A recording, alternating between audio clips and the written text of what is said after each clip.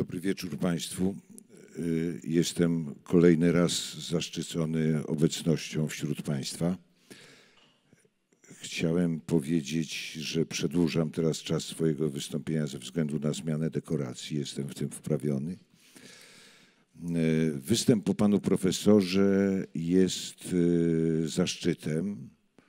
Pan profesor mówił bardzo ważne dla mojego pokolenia rzeczy, ale chciałbym, żeby te, ten wykład y, szczególnie utkwił w sercach y, młodzieży, która jest inna, bo jest młodsza, po pierwsze, a po drugie y, urodziła się i żyje w innych czasach, w których konfrontacja z własną tożsamością jest znacznie trudniejsza. Ja należę do osób, które nie mają trudności z określeniem się, ponieważ wiem, kto to jesteśmy my, a kto są oni. To powiedziałem w taki sposób, żeby nie było wątpliwości i ludzie inteligentni zorientuje się, zorientują się, kto to są oni, a kto jesteśmy my. I my teraz poprowadzimy spotkanie z gościem niespodzianką. Gość niespodzianka jest e, wielką niespodzianką, po pierwsze dlatego, że kiedy wspólnie z panem profesorem poprosiłem go o to, żeby tu przybył, powiedział z największą przyjemnością. Po drugie, jest osobą nie tylko medialną, ale w tych mediach, o których możemy bardzo różnie opowiadać, osobą moim zdaniem wybitną, ponieważ należy zdecydowanie do czołówki twórców polskich mediów i osób jednocześnie w tych mediach działających na antenie. Przedstawiam Państwu z największą przyjemnością wybitnego polskiego dziennikarza, twórcę wielu programów, osobę, która zaczynała w trzecim programie Polskiego Radia, osobę, która prowadzi wiele programów wartościowych, dlatego są one nadawane późno w nocy, ale też pojawia się wcześniej w programie lżejszym, którego jest współtwórcą, a ten program to Szkło Kontaktowe. Grzegorz Miecugow, powitajmy go.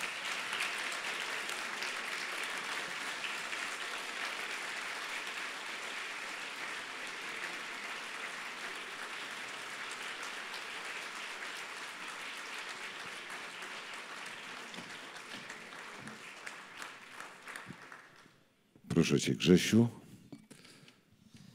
Tak sobie myślałem, jak będę wchodził, że wyjdę energicznie, na pewno się potknę i tak było. Dobry początek. Czyli Słuchałem mówiąc, tego, co mówiłeś o mnie, jak zwykle przesadzałeś. Umawialiśmy się, Dobrze. ponieważ jechaliśmy 6 godzin z Warszawy nowymi autostradami. E, umawialiśmy się, że mm, powiemy o czymś, o czym nie rozmawialiśmy w czasie naszej podróży, a ponieważ rozmawialiśmy właściwie o wszystkim, to możemy zakończyć nasze spotkanie, jeśli chodzi o to, co mamy sobie do powiedzenia, ale bardzo bym chciał, oczywiście to taki mało subtelny żart z mojej strony, mm, e, żebyś zdominował to spotkanie. Publiczność jest tutaj niesamowita. To się w ogóle jakoś tak nie rodzi w głowie, ale tu przyjeżdżają ludzie inteligentni, mało tego są patriotami, a nie przywożą ze sobą specjalnych sztandarów. Kochają nasz kraj, rozumieją, co się w nim dzieje, mm, słuchają ludzi wybitnych, tak jak pan profesor przed chwilą. Y, Sympozjum organizuje jeden z najwybitniejszych y, ludzi, jeśli chodzi i o umysł, i talent organizacyjny, pan profesor Hausner. Także po prostu mów, co chcesz. Znam pana profesora i podziwiam od lat. Yy, No co, Czy co? może ci będzie łatwiej, jak ci zadam pytanie jakieś takie rozprowadzające? Niekoniecznie. Jak chcesz, to mogę... Proszę za- bardzo, mogę sobie też pójść. Nie, nie, aż tak to nie. Jak mówisz o patriotyzmie, to rzeczywiście pamiętam, że mm, w 2010 roku mm, miałem taki mm, kryzys, który trwa zresztą. Y, to znaczy, postanowiłem przestać rozmawiać z politykami, dlatego że rozmowa, y, w której pytania, y, przed zadaniem pytania zna się odpowiedź, nie ma sensu. I pod koniec 2009 roku poszedłem do szefa i powiedziałem, że ja już nie mogę z politykami, bo na palcach jednej ręki można policzyć takich, co do których mam jakąś ciekawość, a akurat w 2009 roku ze sceny zniknął jeden z ostatnich ludzi w polityce, bo nie nazwę go politykiem, który nie miał przygotowanych odpowiedzi i, i było miło z nim rozmawiać. Myślę o panu Piesiewiczu. Y, natomiast y, przerwałem ten y, bojkot polityków pół roku później, a dokładnie po 10 kwietnia, na chwilę tylko. I pamiętam, że w jakiejś rozmowie powiedziałem o tym, że prawdopodobnie efektem y, katastrofy smoleńskiej będzie obudzenie demonów patriotyzmu, co jest yy, skrótem myślowym oczywiście, ale zostałem yy, bardzo wtedy y, skrytykowany, to jest delikatnie powiedziane przez część prasy, że właśnie jestem takim typowym przedstawicielem tak zwanych elit, która nienawidzi patriotyzmu. Lubię patriotyzm, nie mam nic przeciwko patriotyzmowi. Czasami, kiedy y, usłyszę Mazurek Dąbrowskiego, prawdopodobnie w tym samym momencie łzami się, co tobie, łzami się wokół kręci, y, ale to jest związane raczej z jakimiś sukcesami, a nie mam żadnych wzruszeń, kiedy widzę człowieka z kijem z baseballowym i z sylwetką powstańca w Y, hełmie z białą, czerwoną opaską, bo o tego typu patriotyzmie myślałem, mówiąc demonach patriotyzmu. Ale to nie jest nasza przypadłość. Ja nie chcę tutaj lać na, naszą, e, na nasze skołatane głowy jakieś tam wody, że, że jesteśmy tacy owacy.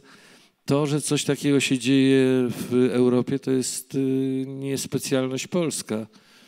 To się dzieje w całej Europie. Są partie, które są prawdziwymi Finami na przykład. Już ten przymiotnik prawdziwy jest zawsze zastanawiające. Chociaż y, znajomy czechofil opowiadał mi, że kiedyś narodowcy zebrali się w Czechach i to było jakieś 115 kilometrów od Pragi i tam się zebrało ich około 200 i ruszyli na Pragę. Po 15 kilometrach zostało ich 10 a po 16 kilometrach zakończyli w pubie, także może nie wszędzie to wygląda jednakowo. No ale też y, dziesięciu Czechów brało udział w, w powstaniu w Pradze, z tego co pamiętam. Może się pomyliłem o dwóch. To jest y, inny rodzaj charakteru i sposobu myślenia o swojej tożsamości. Ja chciałem y, troszeczkę zdjąć pedał z tej takiej narodowej nuty, od której zaczęliśmy, do czego w pewnym sensie prowokował wykład y, pana profesora i zapytać Cię jako obserwatora Twoich losów y, telewizyjnych, bo znamy się od czasów Twojej trójki, ale potem śledziłem rodzaj Twojej kariery. I przyznam szczerze, że jedna rzecz mnie zdumiała, ponieważ zawsze miałem Cię za osobę z pewnym rodzajem godności dziennikarskiej, z pewnym rodzajem zrównoważenia. Już nie mówię o talentach, jeśli chodzi o używanie naszego języka, o sposób odmiany przypadków, prawidłowy zresztą. E, nagle pojawiłeś mi się, co zobaczyłem przez ciekawość, bo pierwszy raz zobaczyłem taki program, że on może istnieć w Big Brotherze. Czy mógłbyś powiedzieć, na czym to polegało, że się tam znalazłeś? Bo domyślam się, y, prowokując w pewnym sensie Twoją y, odpowiedź, że nie marzyłeś o tym od dzieciństwa.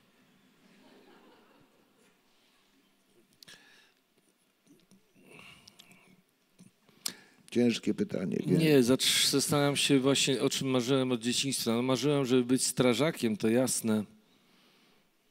Jak byłem całkiem mały, to chciałem być fryzjerem damskim, żeby ulżyć jakoś w cierpieniach mojej mamy, ale Nie, nie. Mówiłeś mi też dzisiaj, że bardzo chciałeś, bo byłeś zwolennikiem e, wyścigu pokoju. Nie, w ogóle miałem marzenie, żeby być komentatorem sportowym, marzyłem, żeby powiedzieć halo, tu helikopter, tu helikopter, ale to marzenie spełniłem, bo jak już byłem w Trójce, to kiedyś o 6.30 powiedziałem tu helikopter, tu helikopter, ale się potem wytłumaczyłem, dlaczego nagle bredzę. Yy, Z tym Big Brotherem to było tak, że nie mogliśmy wystartować yy, z TVN24. Zresztą to jest taka trochę prehistoria, bo na sali jest mnóstwo młodych ludzi, którzy pewnie już w ogóle tego nie pamiętają, ale dobrze. To jest 2001 rok, startuje. Ale na tej sali jestem również ja i ja to pamiętam. Tak. Nie rozmawialiśmy o tym, więc chętnie opowiem. I sytuacja jest taka, że mm, człowiek, że ja w ogóle jestem miotany takimi trochę przypadkami. Niczego w życiu specjalnie nie planowałem. Przypadkowo mnie stan wojenny zastał w sytuacji, kiedy zaczynałem pracować jako dziennikarz. No ale potem już decyzja o tym, co ze sobą zrobić w tym stanie wojennym, no to już była moja. I, i zrezygnowałem z pracy w dziennikarstwie. E, W każdym razie gdy w 90, yy, gdy w 2001 roku nie mogliśmy wystartować z TVN24, dlatego że się spóźniały jakiś tam sprzęt techniczny i początkowo mieliśmy wystartować w styczniu 2001, potem w maju, potem w czerwcu. Koniec końców wystartowaliśmy yy, 9 sierpnia. Data o tyle ważna, że 11 września, czyli 32 dni później, był atak na World Trade Center i to, co robiliśmy w TVN24 zostało pokazane przez TVN, ten duży. I chociaż mieliśmy ogromny kłopot, żeby trafić do kablówek, to wtedy nas obejrzały, obejrzano, gdzie tylko TVN docierał i kablarze się zdecydowali nas kupić co sprowokowało, sprowokowało niektórych do komentarza, że za atakiem World Trade Center stało tak naprawdę TVN24. To była jedna z największych akcji promocyjnych. Dementuję. Ale wracając do tego niemożności wystartowania, zadzwonił do mnie, mm, ponieważ tam właściwie potykaliśmy się sami o siebie, czekając na ten sprzęt.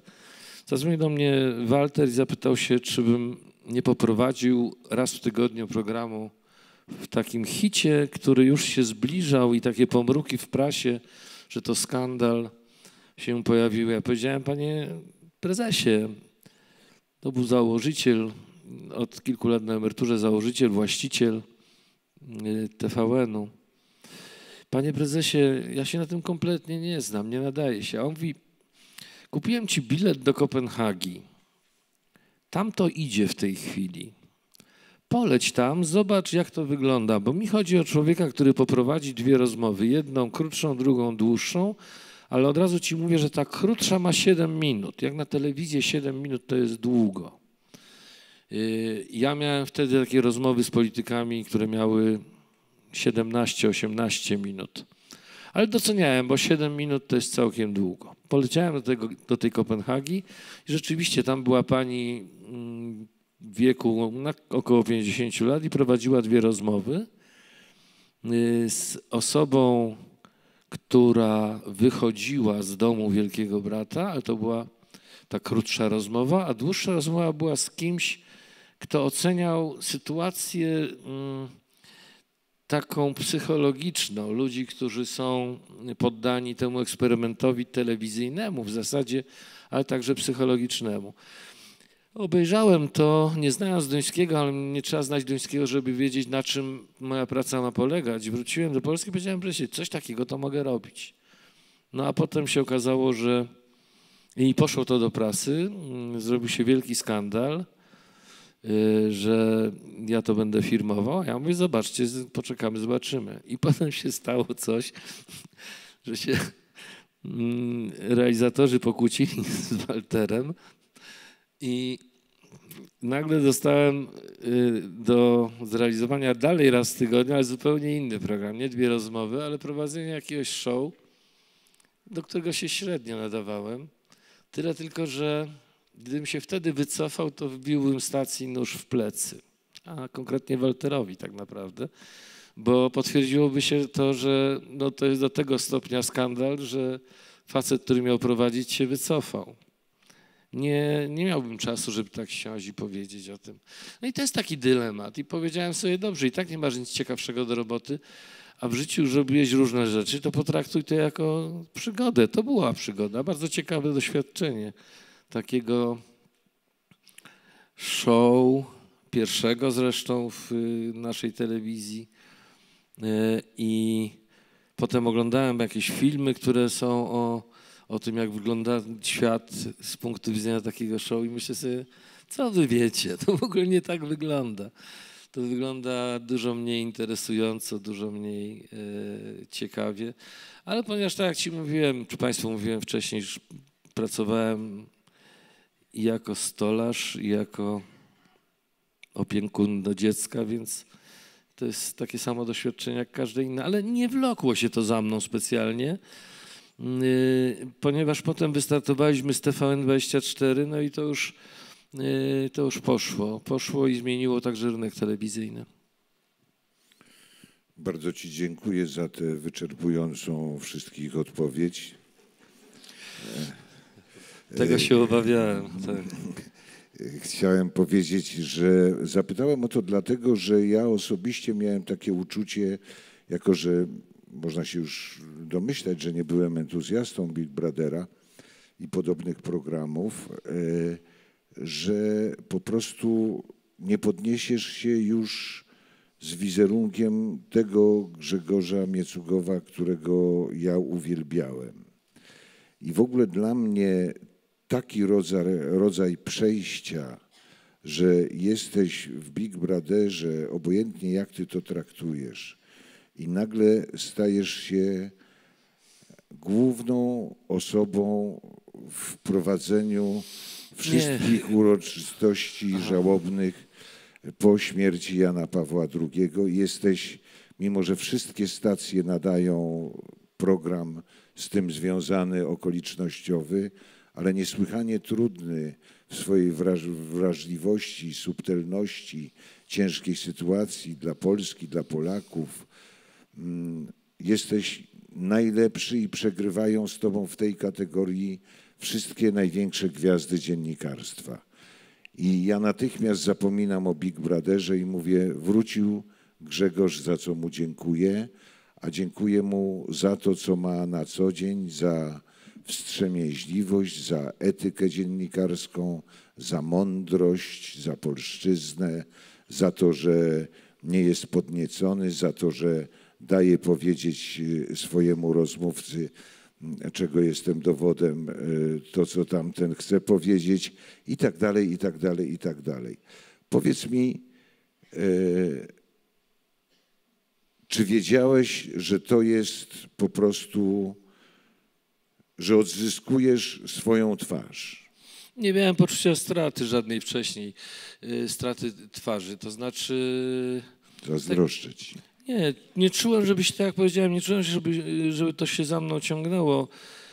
Wpadłem w ten wir, no bo tak, y, mówiłem, że 32 dni po starcie mieliśmy y, atak na World Trade Center. Tego dnia pracowałem od 5 rano, 11 września, byłem wydawcą. I wyszedłem z pracy o pierwszej. Wychodziłem i wtedy przyszła depesza o jakimś samolocie, który uderzył w jedną z wież World Trade Center. Z depeszy wynikało, że to jest malutki samolocik.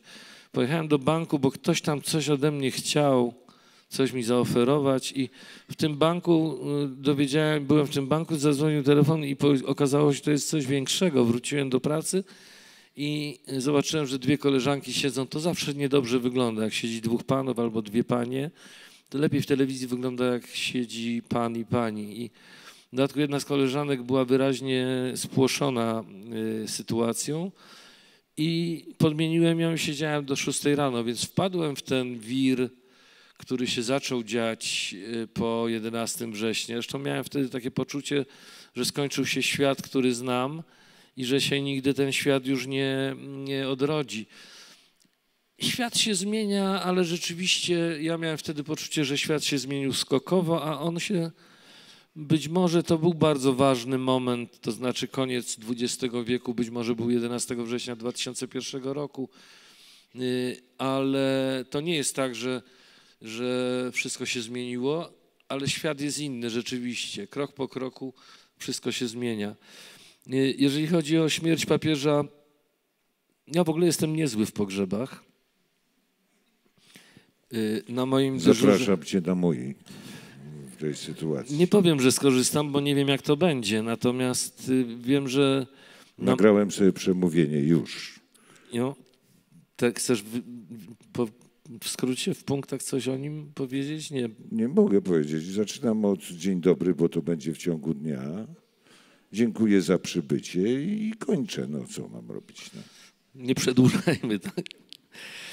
Z papieżem było tak, że wszystkie redakcje się przygotowywały, nawet jeżeli się nie przyznawały, a nie przyznawały się, no ale było wiadomo, że ludzie są śm- śmiertelni, że Jan Paweł II umrze i dostaliśmy takie, mieliśmy zebranie w ścisłym sześcio-siedmioosobowym gronie i, i, i jedna osoba miała przygotować jakieś filmy, druga osoba miała przygotować e, listę gości, e, a na mnie padła pierwsza godzina po śmierci Jana Pawła II. Jak będzie wyglądało? Nikt się nie spodziewał, że ona będzie wyglądała tak medialnie, to znaczy, że raczej spodziewaliśmy się, że przychodzi depesza i że trzeba wszystko postawić na baczność, a to się stało w czwartek wieczorem po programie, który skończyłem o 22.30. Przyszła depesza, że papież wylądował w klinice Gemelli. Zrobiłem specjalny program spod palca, taki od 11, od 23 do 24. No a potem był piątek i sobota. W sobotę papież umarł. Mój pomysł na pierwszą godzinę po śmierci papieża był taki, żeby nic nie mówić, żeby pokazać tam bijący dzwon i żeby nie gadać. No ale akurat tak się stało, że, że papież umierał niezwykle medialnie i się podzieliliśmy dyżurami. Ja miałem dyżur od 20. Ja, I tak się złożyło, że papież umarł na moim dyżurze. Yy, I chociaż yy, to wszystko przypadek, no ale poszło potem już tak, jak sobie przy- przygotowywałem, że przez 4 minuty czy 5 nic nie mówiliśmy. Ja tylko powiedziałem, potwierdziłem, że to jest prawda.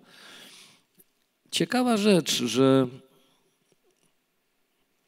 my, w, to jest taka skaza, ale obiecałem też tutaj, że będę szczery do bólu i się przyznam, że my sprawdzamy, dzień zaczynamy od sprawdzenia słupków, jak nasza praca została przyjęta, to znaczy, czy byli widzowie, czy nie. Y, Tamtego dnia na naszym niemówieniu widownia zaczęła odchodzić.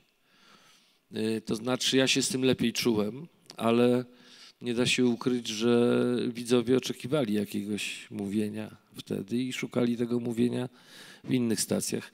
Potem znowu przypadkiem się złożyło tak, że mm, trzy miesiące wcześniej zainstalowaliśmy telefon y, do programu, który prowadzę do tej pory i widzowie mogli dzwonić. Ten telefon wykorzystaliśmy przez te tygodnie żałoby i od 20 do 24 prowadziłem program, w którym różni ludzie dzwonili, a goście przychodzili i rozmawialiśmy sobie.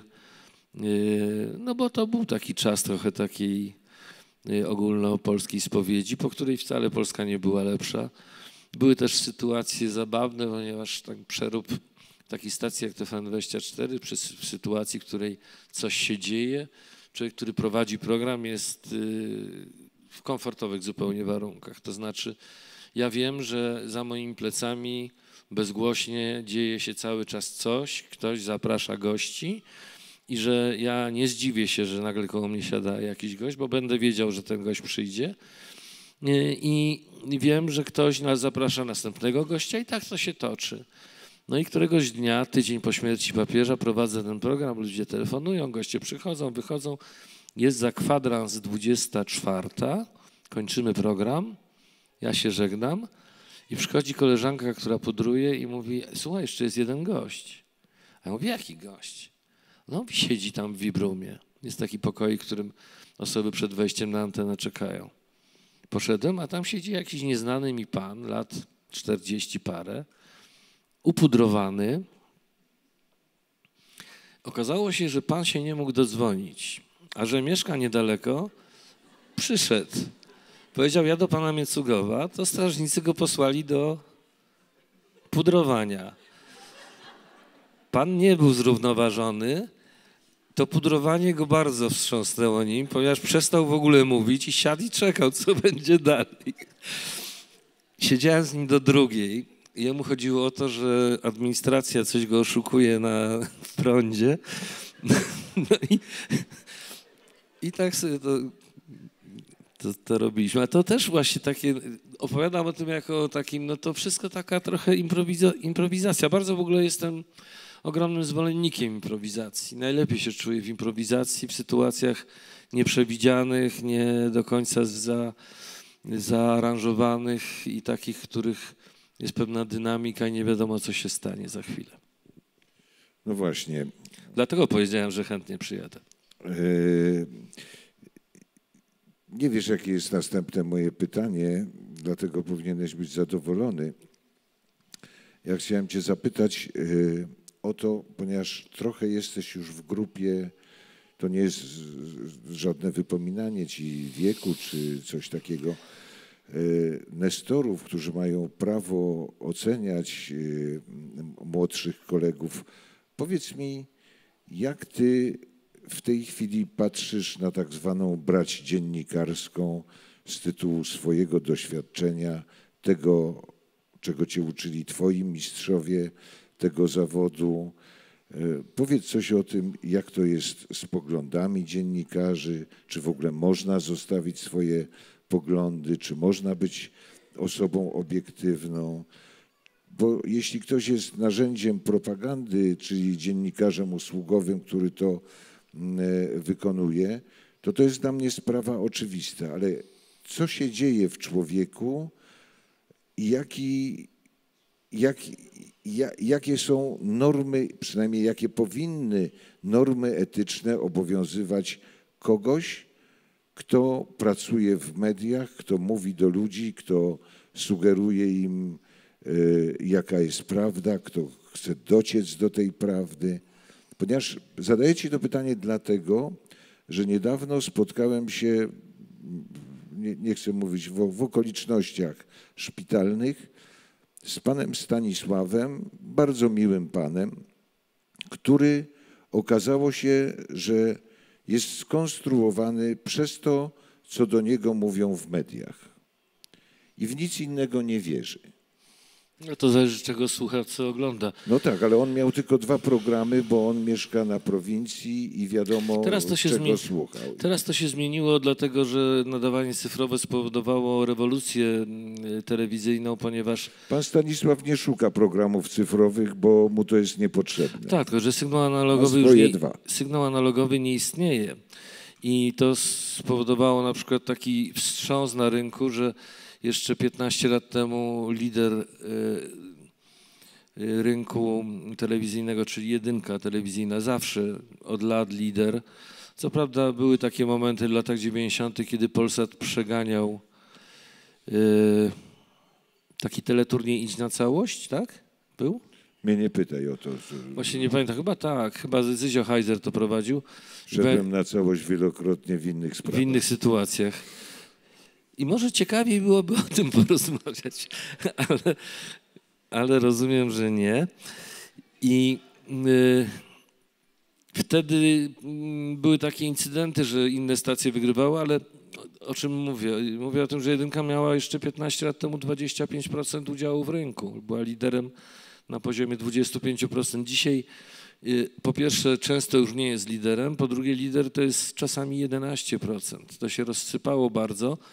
Y, głównie poprzez to, że trzy lata temu weszliśmy w, w przesył y, sygnału cyfrowego, a to spowodowało, że nagle TVN nie jest w, w trzech czwartych kraju, tylko w całym kraju.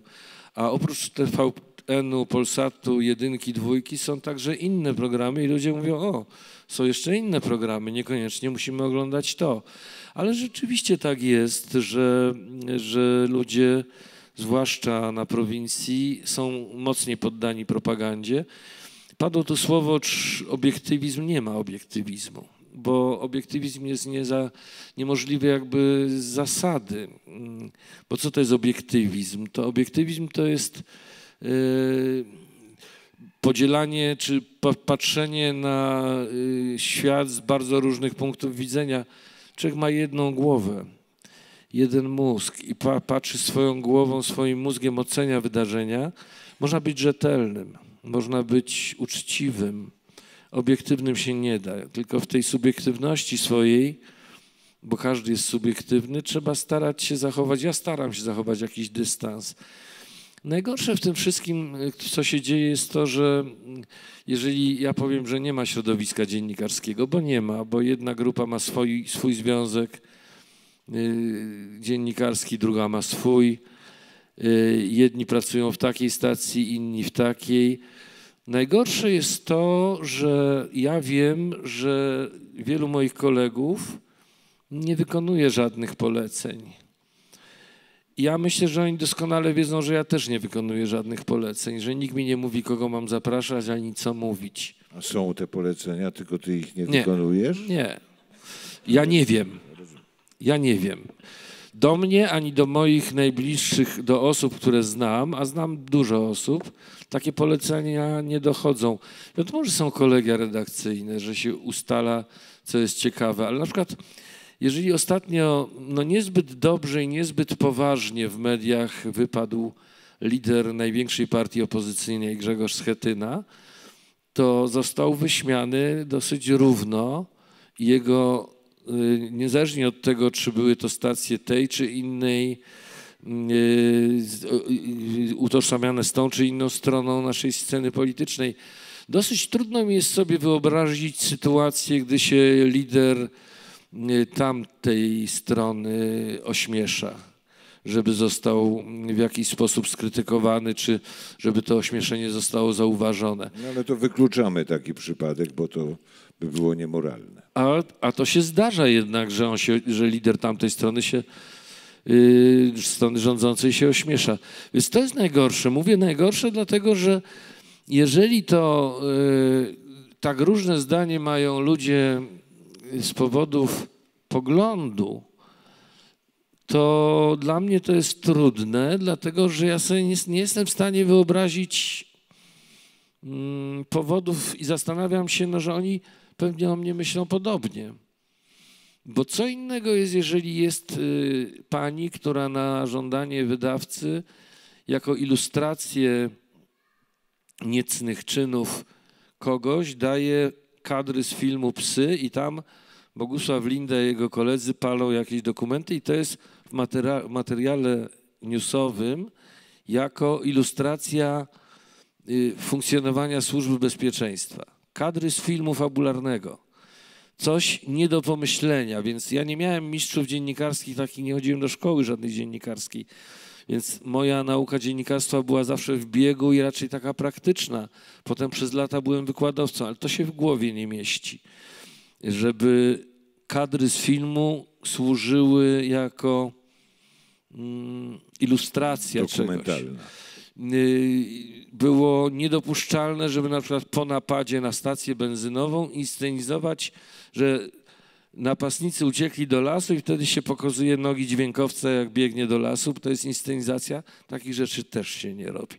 A to się dzisiaj dzieje, no więc czasami mi ręce opadają, kiedy widzę, co się robi, jeżeli się robi propaganda. Ale łatwiej mi jest zrozumieć kogoś, kto ze słabości charakteru wykonuje idiotyczne polecenia, niż i to mnie zastanawia, że ktoś może mieć tak, y, tak zupełnie inny pogląd na przykład na psucie państwa. Ale rozmawialiśmy akurat o tym w samochodzie, rozmawialiśmy, że jeden z publicystów, y, kiedyś polityk związany z Prawem i Sprawiedliwością, a teraz y, z powrotem pracownik naukowy chyba, Marek Migalski, napisał, jakby wyglądał świat, gdyby mm, Bronisław Komorowski wygrał a PO nie przegrała wyborów też. Y, Nie byłby to różowy świat. Prawdopodobnie PO by nagięła y, to, co zrobiła. Tego nie jestem pewien, ale mówię, dlatego mówię prawdopodobnie. Być może nagięłaby y, kształt Trybunału Konstytucyjnego w swoją stronę. Być może rozochocona łatwymi zwycięstwami i tym, że się nie ma z kim przegrać, naginałaby różne rzeczy do, pod swoją, do, dla- dla swojej wygody, y, a na pewno y, nie tworzyłaby rozsądnej telewizji publicznej, która, jak sama nazwa wskazuje, powinna być nasza, a naszą nie jest nie w ostatnich. No uciekała od Dwóch tego, latach. bo były takie obiecanki. Były kiedyś. takie obiecanki, ale ona zawsze była w jakimś sensie polityczna, nigdy nie była propagandowa. Ale polityczna była zawsze, nigdy nie była publiczna i jak nam ją skradziono w 90 roku, tak nigdy jej nie oddano. Więc to nie jest tak, że ja patrzę na wszystko bezkrytycznie i patrzę ze smutkiem na to, co się dzieje i mam w pamięci taką sytuację, którą Tomek Kwaśniewski, dziennikarz wtedy Gazety Wyborczej, miał taką sytuację, że jako mm, człowiek z zacięciem reportażysty, a reportażyści są najszlachetniejszą częścią zawodu dziennikarskiego, y, tak naprawdę już poza tym zawodem. Dzisiaj reportażyści piszą książki, już nie piszą, bo nie, nie ma gazet, które zamieszczają reportaże y, prasowe, więc reportażyści uciekli w książki i Tomek Kwaśniewski postanowił chwycić byka za rogi i ponieważ w podstawówce i w szkole średniej miał kumpla najbliższego, z którym siedział przez ponad 10 lat w jednej ławce, no to się znali, jak to się mówi, jak łyse konie. Tyle tylko, że y, Tomek Kwaśniewski był po stronie PO, a tamten jego kumpel po stronie PiSu. I on postanowił rozgryźć, rozłożyć sprawę na cegiełki, na drobne elementy i rozgryźć to, jak to się stało, gdzie się rozjechały ich drogi. I wiesz, że mu się nie udało? Poddał się. Nie wiadomo, kiedy to się stało i dlaczego. Więc jak patrzę na moich kolegów, y, którzy y, nie czasami gada, mówią straszne bzdury y, albo komentują w sposób bardzo niesprawiedliwy rzeczywistość, to mam, traktuję to jako taką przestrogę, uważaj na siebie, bo oni tak samo uważają, że ty gadasz straszne bzdury. Grzesiu, ja ci zadam teraz takie pytanie e, w kategorii doradztwa związane z, no, z tym, co się dzieje dzisiaj. E, Troszkę rozmawialiśmy o sytuacji, ale bardzo bym chciał, żeby e, zwłaszcza młodzież zrozumiała, na czym może polegać nasz brak komfortu, mimo że jesteśmy osobami niezależnymi, że jako twórcy mamy szansę e, do momentu, kiedy mamy robić coś, co przedstawiamy publicznie. Maryla Rodowicz i Opole. E, Maryla Rodowicz dowiedziała się, że dwie koleża- że jedna z koleżanek, które zaprosiła do swojego jubileuszowego koncertu, że telewizja, konkretnie prezes tej telewizji narodowej, pan Kurski, człowiek bez skazy, nie pozwala występować tejże Kai e, w swojej telewizji. Potem do Kai dołączyła fantastyczna zresztą artystka, e, koleżanka e, Nosowska, która w Solidarności powiedziała: Ja też nie wystąpię w programie, który jest cenzurowany. Potem prezes Kurski zaprosił Marylę, kazał jej stanąć na tle ścianki i powiedział: To wszystko jest nieprawda, ja wszystkim pozwalam. Po czym, jak zeszła z tej ścianki, to się okazało, że nie wszystko jest prawdą i nie na wszystko pozwala. I Maryla wczoraj stała przed dylematem, czy w ogóle robić ten koncert, czy go nie robić. Co byś jej poradził? Bardzo trudno jest radzić, bo ja nie znam pani Maryli, widziałem z nią, widziałem ją ze trzy razy w życiu, rozmawiałem raz, więc yy, znam. Jak, jak ci wyszła ta rozmowa? I to była rozmowa na korytarzu w Trójce, ładnych parę lat temu, 28 lat temu. I to była rozmowa zdawkowa, że no, rozmowa z kolegą będzie niedługa, ale że zapraszamy, bo byłem wtedy szefem, zapraszamy do Trójki.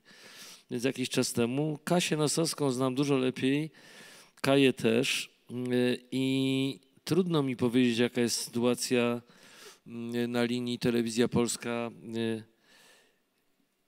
Maryla Rodowicz. Y, Nie chcę jej krytykować, chociaż mam takie wrażenie, że, że więcej mm, dla siebie by zrobiła, gdyby się zbuntowała. To znaczy, że, że y, stała się zakładniczką, nie wiem, własnej. Dzisiaj zresztą gdzieś powiedziała, że ona zaczynała z telewizją polską i karierę chce skończyć z telewizją polską. Nie wiem, czy to już ma nastąpić w Opolu, czy trochę później, ale, ale jest coś przedziwnego w takim yy, pewnym poddaniu się, ale znowu mówię, to, to, to trudno mi powiedzieć, bo nie znam wszystkich szczegółów. Nie wiem, może ma długi, może Jacek Kurski postanowił e, oddać za nią? Oddać za nią, spłacić kredyty. Nie wiem, są bardzo różne sytuacje, które człowiek ma i, i trudno oceniać. Bardzo za to wysoko cenię y, takie odruchy serca Kasi Nosowskiej, bo ona taka jest jak, jak śpiewa, jak, jak tworzy. Ona ma odruchy serca przede wszystkim. No właśnie. A ja ci powiem tak, że tu się różnimy y, i podziwiam y, Twój spokój i brak emocji na tego typu pytania, bo ja na przykład zdecydowanie na miejscu Maryli bym odwołał ten koncert, dlatego że chodzi tutaj o nie o relacje między Marylą i prezesem Kurskim, tylko chodzi o rodzaj własnej godności, o to, jak się traktuje mojego gościa, o to, jaki to ma wymiar polityczny, o tysiące różnych spraw, które w naszej sytuacji, w tym, w czym żyjemy teraz, byłoby po prostu dla mnie sprawą oczywistą. Bo jeśli Maryla zgadza się na występ z panem, który jest królem disco polo, to jest jej decyzja artystyczna. Jestem tolerancyjny, mogę sobie zgasić radio, jak gra disco polo, albo odwrotnie, po prostu jak się stęsknię za tym nurtem fantastycznym, po prostu jak potrzebuje się czegoś ciekawego z dyskopolowej poezji dowiedzieć, prawda, o świecie, jak mi brak kobiet, bo tam dużo kobiet i miłości jest i imion kobiecych dużo jest. Przyszła Władka, bo była e, Gładka. Gładka, no właśnie. Więc po prostu to jest sprawa, w którą ja się nie wtrącam, bo każdy sobie śpiewa jak chce. A żebyś się nie zdziwił, jak się okaże, że Maryla wyjdzie na scenę i powie rodacy, ruszamy na telewizję polską, za kulisami rozdajemy kosy postawione na sztorc i hełmy z papieru. No to ja po prostu A, ruszam pierwszy. To widzisz. E, ruszam pierwszy, ja zwłaszcza, że dostarczyłem tej telewizji parę tysięcy godzin programów. Ja, ja nauczyłem się jednego, że, że jest jakaś mądrość przysłowia, akurat takim przysłowie, że fortuna kołem się toczy, albo że nie ma tego złego, co by na dobre nie wyszło, albo że nic nie jest takie, jak się wydaje na pierwszy rzut oka. E, pamiętam, że e, kiedy w 2005 roku zbliżały się wybory, wszyscy nie mieliśmy pewność, że dwie szlachetne partie, które wyłoniły się z pnia solidarnościowego, jedna się nazywa Prawo i Sprawiedliwość, druga Platforma Obywatelska, nie bardzo wiadomo czym się różnią, ale wiadomo, że no może liderami troszkę, ale wiadomo, że poprowadzą Polskę do szczęśliwości ogólnej. To było oczywiste. Nikt nie przypuszczał, że jest to początek zawłaszczenia sceny politycznej i zrobienia z wzajemnego sporu i chwycenia się za głowy sens polityki, e, co jako żywo sensem polityki być nie może. Trzymanie się w klinczu nie może być sensem polityki i nie może być sensem e, tworzenia świata, a te obydwie partie taki sens tego zrobiły, nikt się tego nie spodziewał. E, więc jeżeli dzisiaj ktoś mówi, żeby nie, wiem, wywrócić tę władzę, która jest, a jedyne, co ma do zaoferowania, to to, że nie jest tą władzą, to ja mówię, ludzie, puknijcie się w głowę. Nie po to się jest w polityce, żeby mówić się, ja nie jestem nim, bo ja to widzę, że ty nie jesteś nim, tylko ja nie bardzo widzę, kim ty jesteś. Grzesiu, e, niestety znam pana profesora Hausnera oraz znam żołądki uczestników sympozjum. Punktualnie za 8 minut jest e, kolacja, więc powoli musimy zmierzać do końca. Powoli to znaczy bardzo szybko w tym wypadku.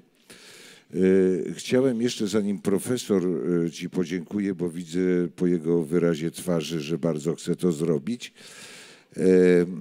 Ale to jest normalne. Profesor zawsze dziękuję, bo jest eleganckim bardzo profesorem.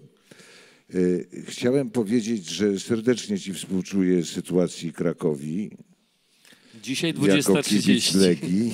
Dzisiaj Y, 20.30 gramy z ruchem. E, Serdecznie dziękuję w imieniu wszystkich uczestników sympozjum, że przyjechałeś, ponieważ znam kuluary tego sympozjum.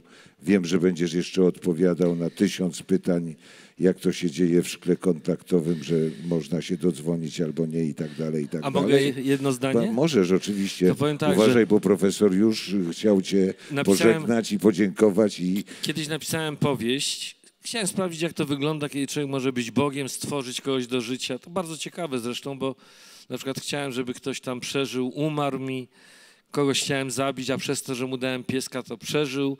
Sam z siebie, naprawdę. A kiedyś na potrzeby tej książki wyliczyłem, że średnia życia mężczyzny, 73 lata w Polsce, to jest 642 tysiące godzin. Y, To nie jest dużo. ale Są ludzie, którzy mają takie kredyty, nie? I to, to jest, no z, tej, z tego punktu widzenia to jest dużo, ale to nie jest dużo, bo to są godziny. To jest 642 tysiące godzin. Nie nadzieję, patrz na mnie, bo akurat nie mam kredytu. Mam nadzieję, że te pół godziny, które Państwo, czy tam 40 minut, że nie uznają Państwo za stracone. 44. 44. Bardzo Państwu dziękuję w imieniu Grzegorza, ale Grzegorzowi dziękuję przede wszystkim.